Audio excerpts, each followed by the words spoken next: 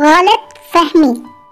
एक छोटा बच्चा अपने दोनों हाथों में एक एक सेब लिए खड़ा था। उसके वालिद ने मुस्कुराते हुए कहा, बेटा, एक सेब मुझे दे दो। इतना सुनते ही बच्चे ने एक सेब को अपने दांतों से काट लिया।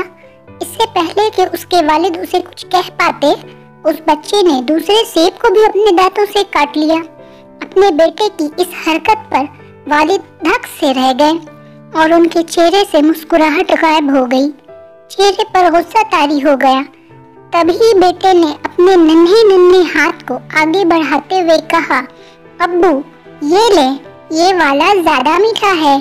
हम कभी कभी पूरी बात और मामलात को समझने की कोशिश ही नहीं करते और गलत फहमियों का शिकार हो जाते हैं, इसलिए कभी भी फौरी फैसला न लें।